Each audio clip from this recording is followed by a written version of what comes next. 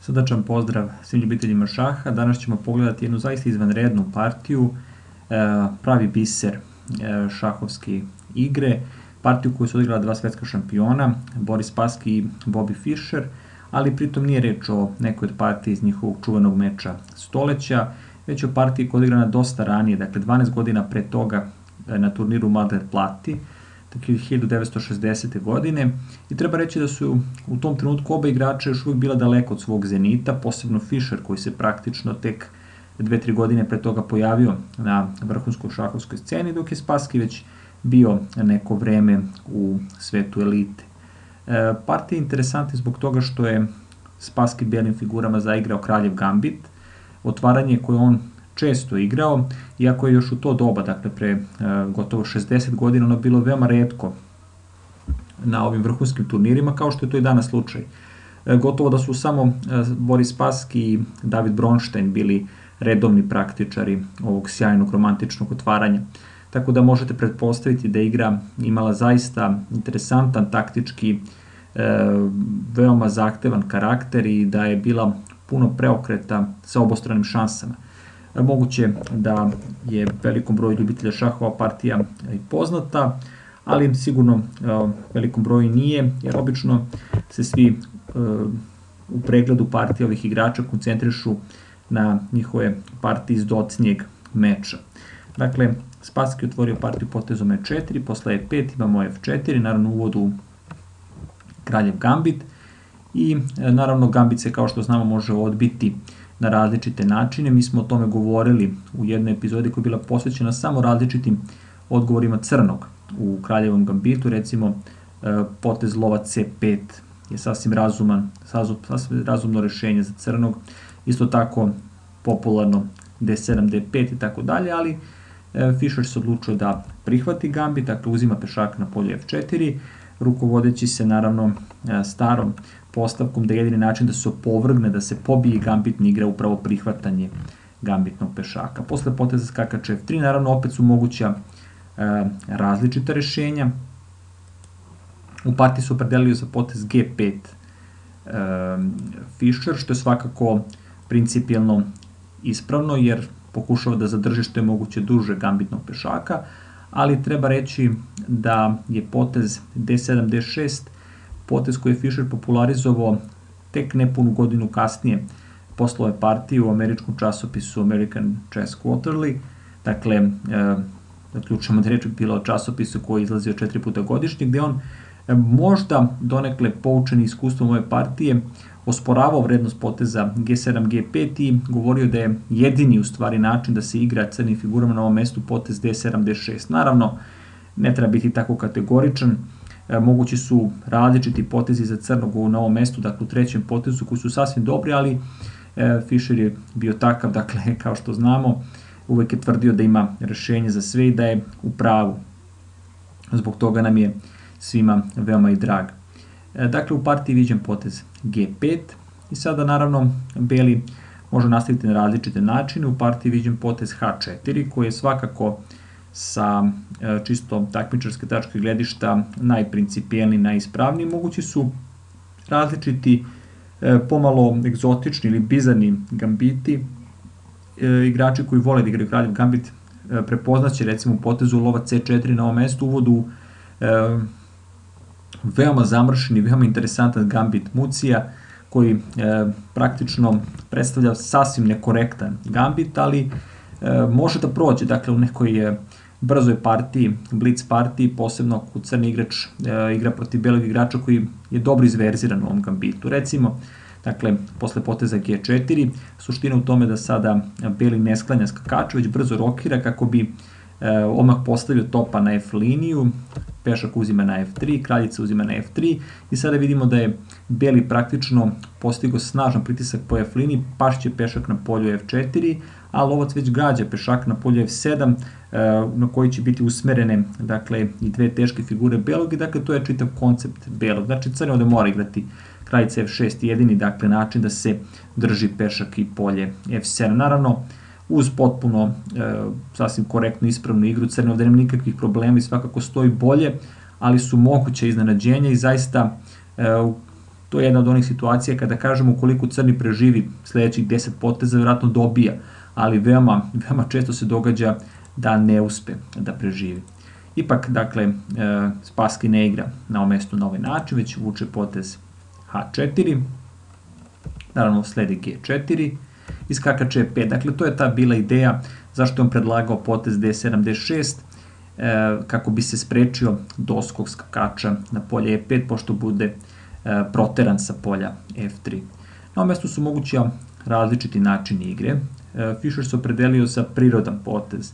Skakač F6, naravno moguće su i druga rešenja u prošlosti, dakle, da kažem u 19. veku, uglavnom se igrao potez H5, ali taj potez je prilično nezgrapan i nemino dovodi do e, potpunog kvarenja e, pešaka, crnih pešaka na kraljevom krilu, ne mogućava svaki vid rokade, recimo sledi lova C4, snažan pritisak na F7 pešaka koji mora biti branjen na ovaj prilično, e, da kažemo, nespretan način, posle poteza D4, D6, skakač D3, crni obično nastavlja sa F3, ovako se igra viđala još u vreme Morfija, dakle, naravno da crni igrač ukoliko je taktički naoštren, može dobro proći da u principu ovaka tretman ove pozicije od strane crnog može da prođe u nekoj konkretnoj partiji, ali u principu ne predstavlja previše zdrav način da se igra.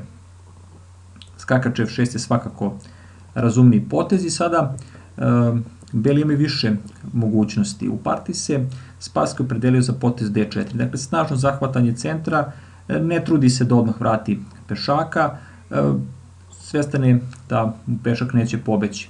Naravno, moguće su i druga rešenja. Treba reći da, kad smo već spomenuli Morfija, pokazat ćemo jednu veoma interesantnu varijantu e, koja je viđena u čuvenom meču između Morfija i Adolfa Andersena još 1858. godine, gde se Morfej odlučio na ovom mestu za uzimanje na polju G4, e, crni uzeo na E4 sad ćemo samo pokazati primer radi e, do kakvih je bizarnosti moglo sve da dođe u to doba e, i kakva se dvosekla igra viđala. Dakle, pozicija je potpuno, da kažemo sa današnjeg aspekta, ne svakidašnja D3, skakač G3, dakle napad na topa, kojeg naravno potpuno ostavlja na milost i nemilost beli, uzima pešaka na polju F4, skakač uzima na H1, kraljica E2 šah, kraljica E7, vidimo kako su beskompromisno igrali Morfi i Andersen. I sada skakač F6, dakle šah, kralj mora na polje D8 i sada sledi još jedan šah, dakle e, beli smera da osvoji crnu kraljicu, ali pritom i sam daje određen broj figura. Kralj mora uzeti na c7, dakle nema drugog poteza. Sledi još jedan šah uz dvostruki udar, kralj d8 i sada pada kraljica na polje e7, lovac uzima na e7 i u suštini e, crn ima potpunu kompenzaciju u ovoj poziciji, dakle posle svog ovog vatrometa koji se u partiji dogodio, pozicija je potpuno ravnopravna.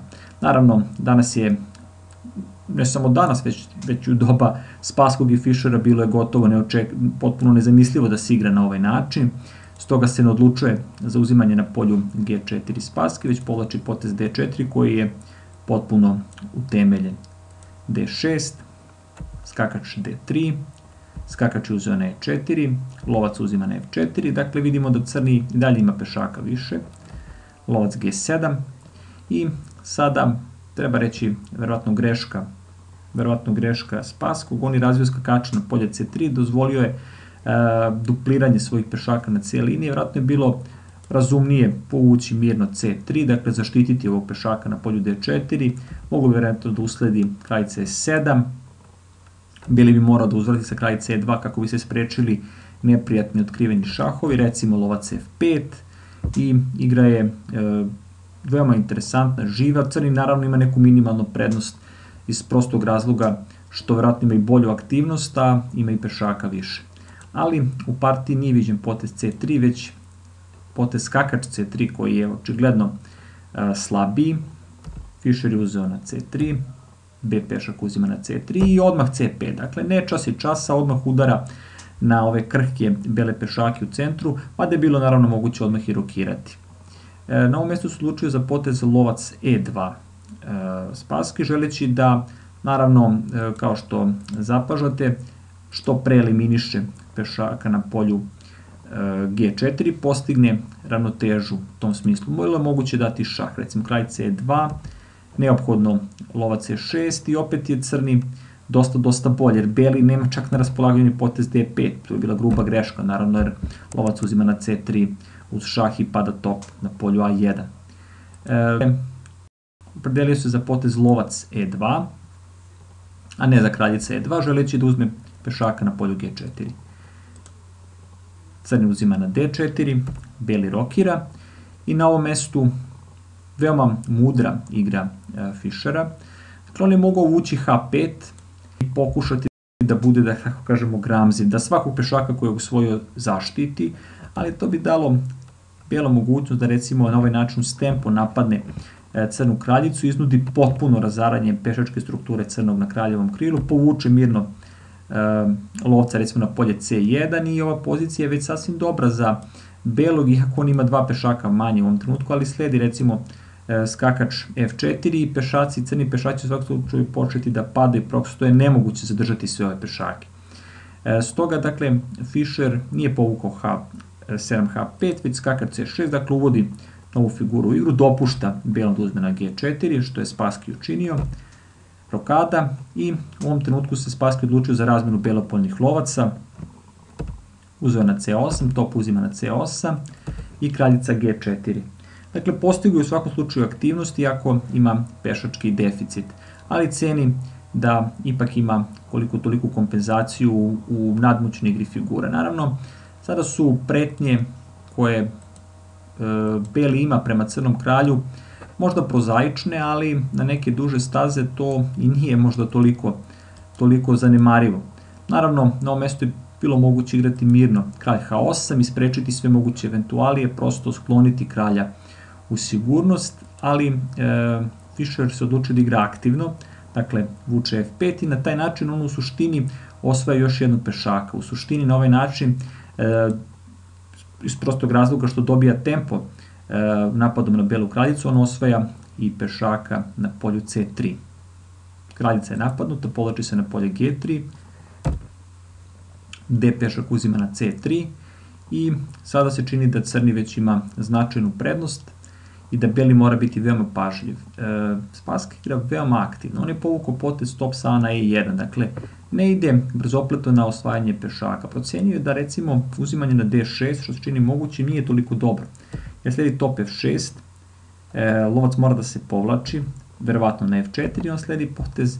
E, top G6 i sada je u stvari crni puno, puno jači. E, to nije želeo Spaski da učini, smatrao da pešaci nisu toliko važni u ovom trenutku i vuče potez top sa A na E1, dakle veoma, veoma aktivan potez. Sledi potez kralj H8, sada se Fischer odlučio za sklanjanje kralja ugao i sada ipak treba reći greška Spasko koji je povukao kralja na H1. Dakle, on se očigledno, on se očigledno e, plašio e, poteza lovac D4 uz šah. Dakle, od tog tempa se plašio, što bi dakle dovedlo do toga da i top ima vremena da dođe na polje G8 uz još jedan tempo na kraljicu i veoma komplikovanu e, poziciju očigledno za belog. Ali sada je bilo vratno ispravno uzeti na D6. Vratno je bilo sad bolje ipak dakle uzeti na D6. Ukoliko top G8, naravno onda je skakač E5 sasvim dobro i beli stoji praktično ravnopravno, a ukoliko top F6, onda lovac E5 i praktično beli iznuđuje razmjena na polju E5, lovac uzima, skakač uzima i crni ima minimalnu prednost, ali beli u svakom slučaju stoji bolje u odnosu na ono što se dogodilo u partiji. Čini se dakle da je ovo sklanje kralja na ugao, ugao dakle na polje H1 bilo nepotrebno u ovom trenutku, iako vidimo koji su bili motivi Spaskog.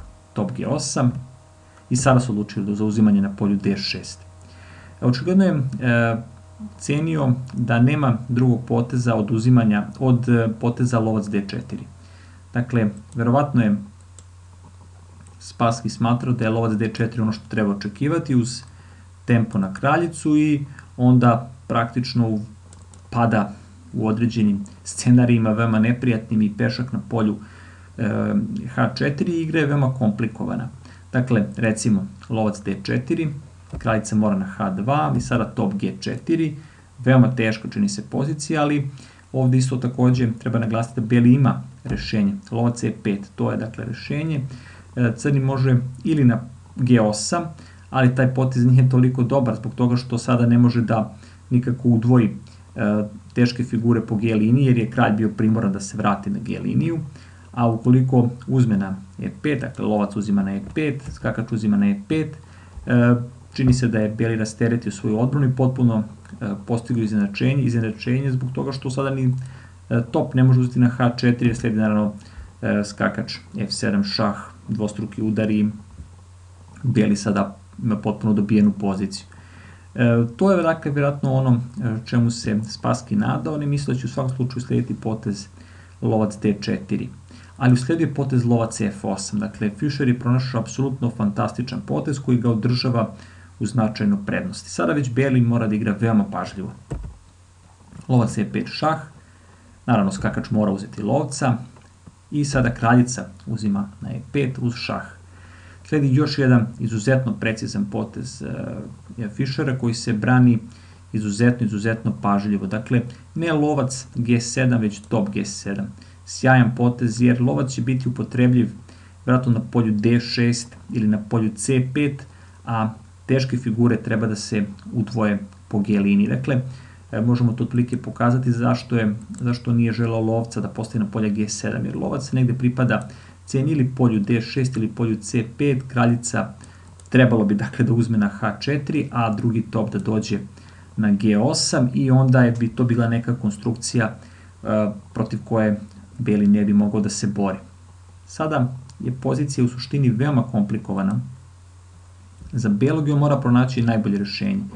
Takvo rešenje je pronašao Spassky, on je povukao potez top uzima pešaka na polju F5. Drugi potezi nisu tako dobri. Recimo top F4 sa idejom da se štiti pešak na polju H4 je naravno loš odmah jer sledi lovac D6. Dakle, tu nije e, potrebno ni neko veće obrazloženje. Naravno, kraljica F4 takođe nije toliko dobro zbog top G4. E, nešto interesantni potez, verovatno, dakle, da kažemo nešto interesantni potez, jeste potez Kraljica uzima pešak na polje F5, ali onda kraljica H4 šah jeste neprijatno. Kralj G1, kraljica G4 i nažalost po belog dolazi do razmene kraljica u jednom scenariju koji za njega nije prihvatljiv, a ukoliko istrajava tome da zadrži kraljice, recimo kraljica F2, onda sledi lovac D6 i situacija je veoma, veoma teška za belog. Stoga treba reći da ovako veoma taktički komplikovanoj poziciji, zamršenoj, Spassky pronalazi najbolji potez, dakle top uzima na f5. Usledilo je naravno kraljica uzima pešaka na polju h4 šah, kralj g1 i sada e, očigledno e, greška Fischera koji je smatrao da ima dobitak kako god da okrene stvar.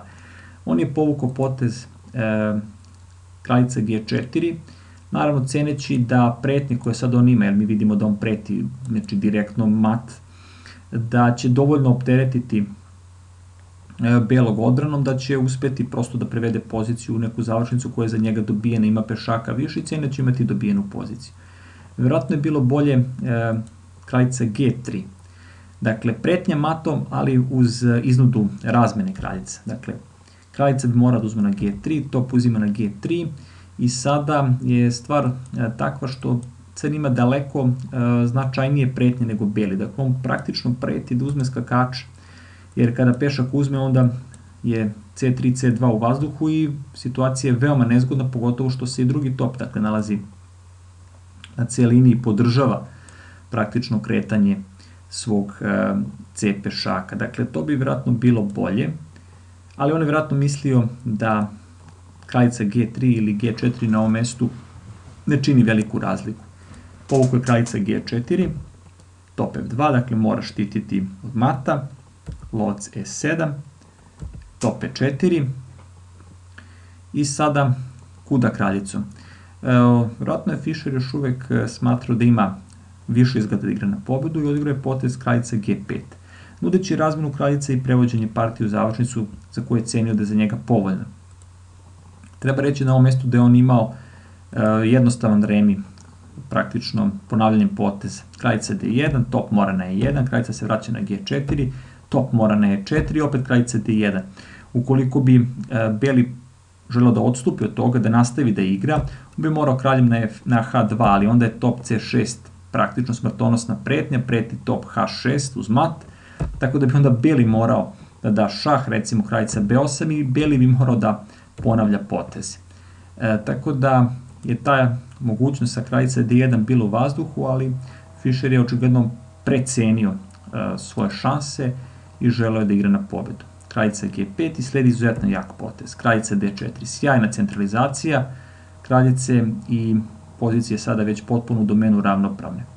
Sad je u stvari usledila e, krucijalna greška, dakle greška koja je koštala Fischera poraza, to je potez top F8, on je smatrao da ima dobitak, e, prosto je smatrao da e, će pasti pešak na polju G2 uz smrtonosne matne pretnje.